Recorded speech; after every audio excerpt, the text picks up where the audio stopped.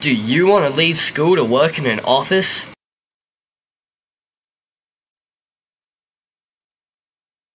If not, then maybe you should consider going to the world of agriculture, Agriculture can teach you lots of awesome things. like driving a tractor. And an ATV four-wheel motorbike. Using chainsaws. and building fences. And if you still aren't convinced, you'll probably get to milk a cow. So what are you waiting for?